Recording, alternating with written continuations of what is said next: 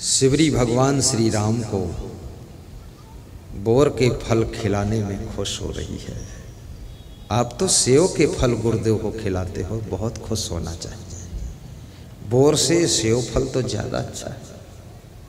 संतरा और केला, और तुम्हारी श्रद्धा शिवरी से कम नहीं है। शिवरी की कथा लिखने वाले तुलसीदास थे, इसलिए उसका नाम अमर हो गया। तुम्हारी कथा लिखे तो कौन लिखे इसलिए नाम छिपा हुआ है। बाकी शिवरी से श्रद्धा कम नहीं है। भक्ति बहुत है आप में। इस भक्ति में आनंद बनाइए और गीत गाइए, भाव दो भक्ति, दो भक्त की शक्ति दो। मुझको इसके सिवा कुछ नहीं चाहिए। धर्म वरदान दो, सत्य का ज्ञान दो। मुझको इसके सिवा कुछ नहीं चाहिए। खुश रहने का भी अभ्यास करो। स्वयं को एडजस्ट करने की कला सीखो। किसी से स्वभाव तुम्हारा मेल न खाता हो, सासू की शकल पसंद ना हो, बाप की बात पसंद ना आती हो, लेकिन फिर भी उनसे मेल बना ले, उसके लिए ज़िंदगी खेल हो जाती है। जो सबसे मेल बनाना जानता है, उसके लिए ज़िंदगी खेल की तरह गुजर जाती है। जो मेल नहीं बना पाता है, उसके लिए ज़िंदगी जेल है। सबसे तालमेल बिठा एक जाट अपने घर से जा रहा था, विदेश में व्यापार करने। तो घर से जब निकला लंबी चाल में तो उसकी पत्नी ने लपक करके उसका हाथ पकड़ दिया कि रुको।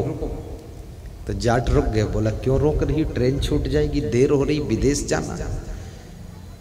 तो उस जाटिन ने कहा, जाटिन कहे जाट से, हे पति देव, जाटिन कहे जाट से, देश बिराने रहना, और ऊँट बिलाई ले गई तो हाजी हाजी कहना, हाजी हाजी कहना।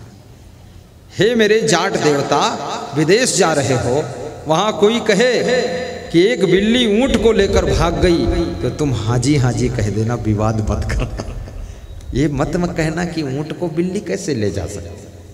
तर्क मत करना। सब जगह तर्क नहीं करना चाहिए, चुप भी रहना चाहिए, शांत रहो।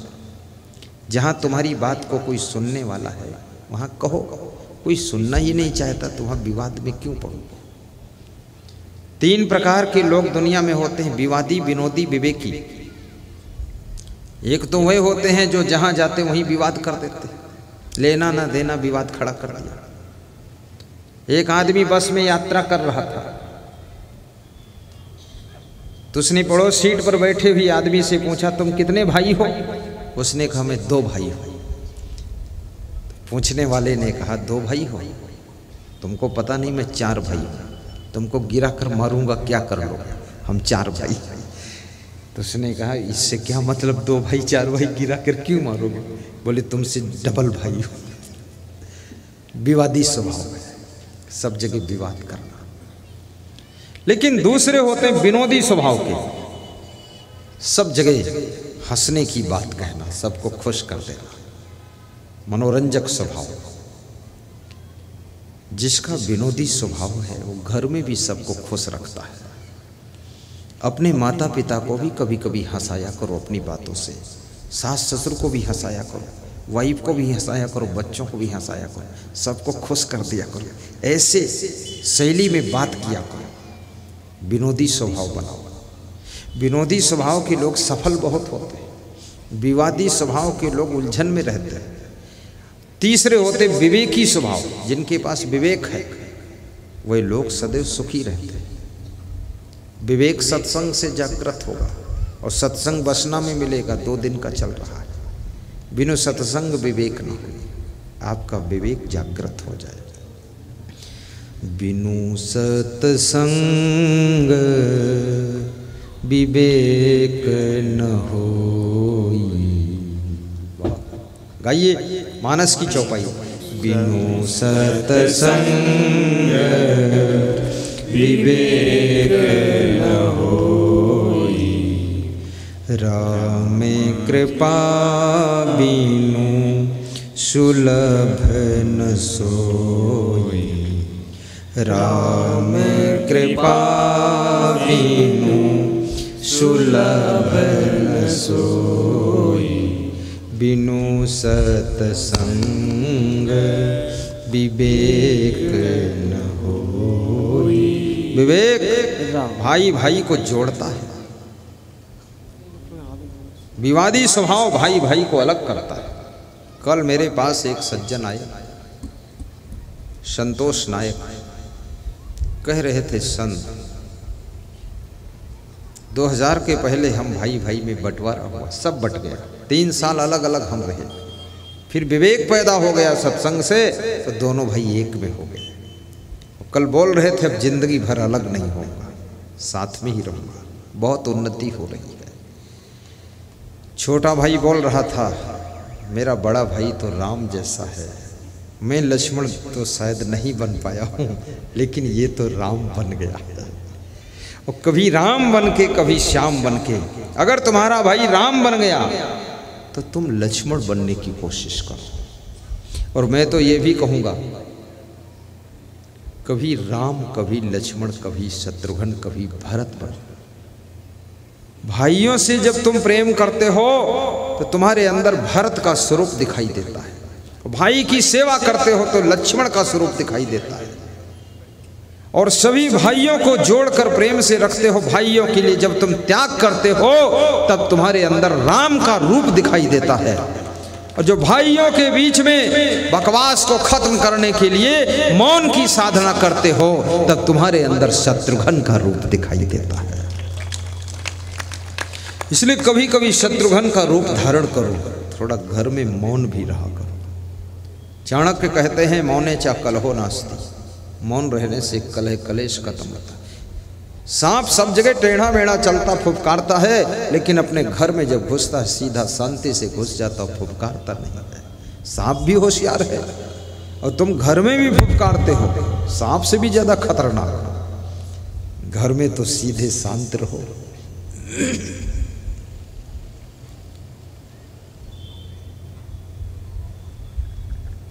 यहीं पर वो बैठे हुए हैं। खड़े हो जाओ। छोटा भाई लक्ष्मण जो बता रहा था। ये देखो, ये लक्ष्मण बन गए। पर ये बड़ा भाई राम खड़े हो गए। तीन साल बंटवारा करके ये फैमिली अलग अलग रही है टुकड़े टुकड़े हो गई और तीन साल बाद अब लगभग उन्नीस साल से एक साथ है। कल कह रहे थे, अब अलग कोई नहीं कर सकता है। अब मौत ही अलग करेगी और कोई नहीं अलग करेगा।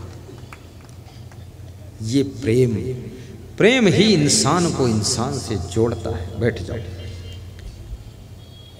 इसलिए कबीर साहब ने प्रेम को काफ़ी बल दिया है कि ढाई अक्षर प्रेम का पढ़े सो पंडित हो। पोथी पड़ी पड़ी जगमुआ पंडित हुआ न को। आइए एक छोटा सा भजन गाइए। सुख और स्वर्ग कहाँ है समझ में आ जाएगा। मृदुबाणी सुंदर स्वभाव। सभी सुखों की खान है।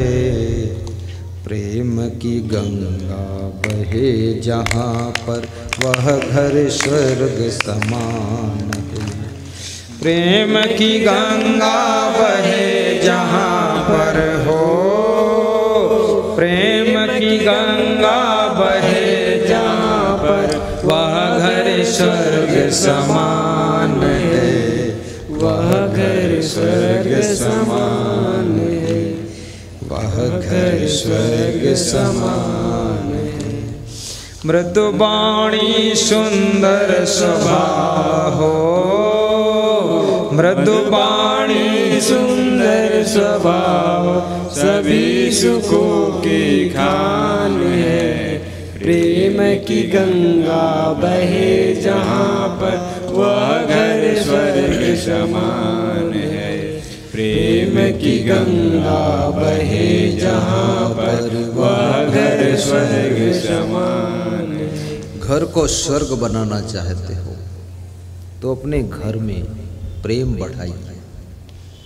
पड़ोसी से प्रेम करना आसान है पशु पक्षियों से प्रेम करना आसान है, फूलों से प्रेम करना आसान है। लेकिन अपने माँ बाप से अपनी पत्नी से, अपने पति से, अपने बच्चों से प्रेम करना बहुत कठिन है।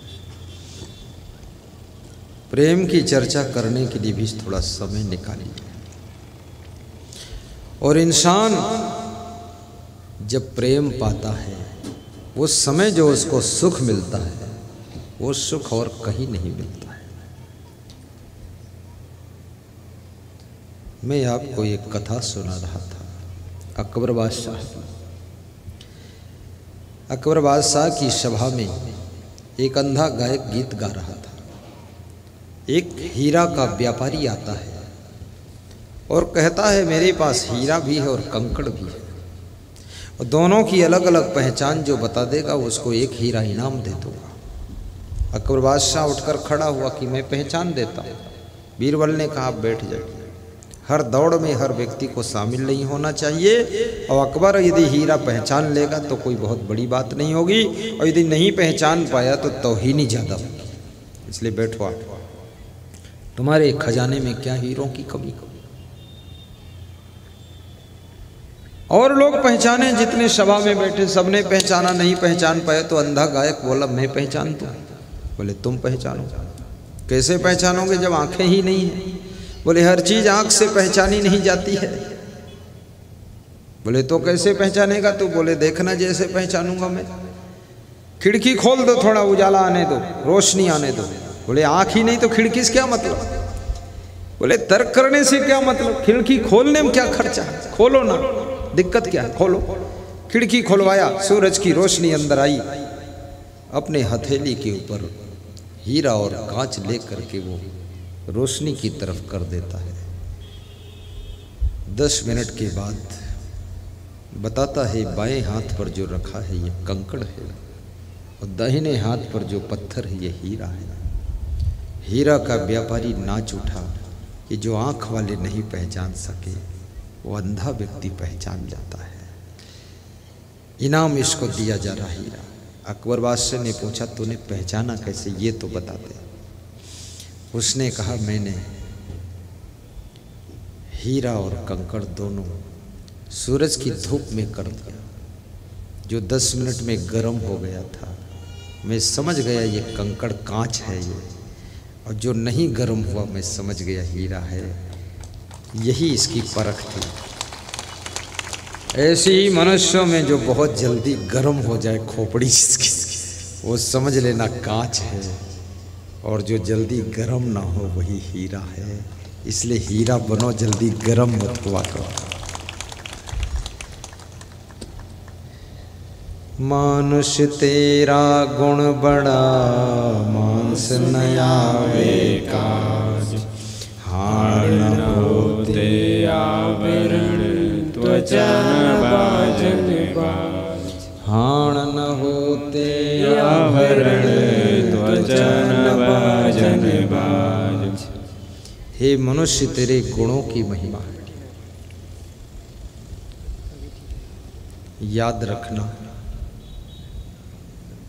मनुष्य तो एक है, परंतु इसमें गुण अनेक है।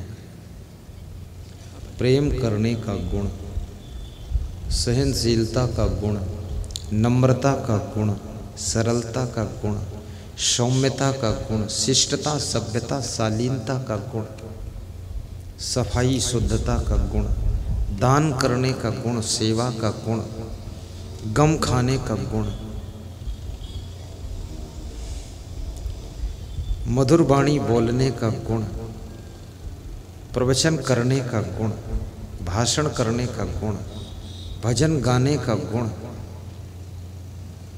व्यवस्था देखने का गुण मैनेजमेंट करने का गुण, भक्ति करने का गुण, दूसरों का ख्याल रखने का गुण, दूसरों को क्षमा करने का गुण, निर्भयता का गुण, कठिन से कठिन परिस्थितियों में साहस पूर्वक जीने का गुण, दुख में भी मुस्कराने का गुण। कष्टों में भी प्रसन्न रहने का गुण। ये बहुत से गुण हैं जो आपको सुख देते हैं। इसलिए भक्त स्वतंत्र सकल सुख खानी, बिनु सतसंग न पावही प्राणी। भक्ति स्वतंत्र है और सकल सुखों की खान है, बिना सत्संग के नहीं मिलती है। अतः सत्संग सुनिए और भक्ति कीजिए, जिससे बहुत सुख प्राप्त होगा। सुख का खजाना भक्ति से प्राप्त होता है। फिर चाहे आप महल में रहो, चाहे झोपड़ी में रहो, लेकिन आप सुखी रहोगे। यदि आपके पास में भक्ति है तो मीरा बनकर महलों में भी सुख मिलेगा। भक्ति है तो शिवरी बनकर के झोपड़ी में भी सुख मिलेगा। क्योंकि सुख तो भक्ति देती है, सुविधा सामान और मकान देता है, पर सुख केवल भक्ति ही देती है।